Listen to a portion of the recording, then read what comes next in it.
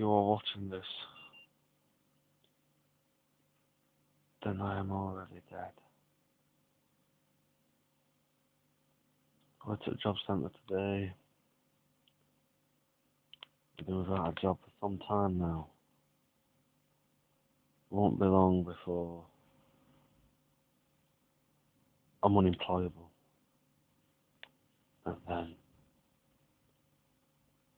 oh, I don't know, but doctor, I went to the doctor and I told him that I'd got unemployability, and he said I can give you some Viagra, but Viagra's no good for unemployability. It's not like I can go into a, a, an interview and go, I've got an hard cock, will you give me a job? You know, it's just not gonna happen like that. It'd be funny anyway, but we can't do that. So um, yeah, the employable employability levels are, are low.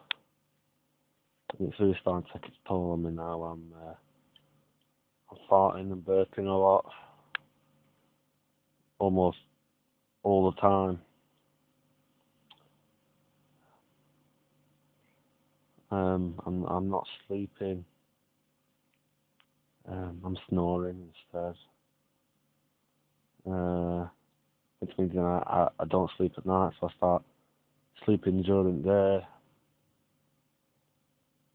I'm uh, feel like I'm falling apart.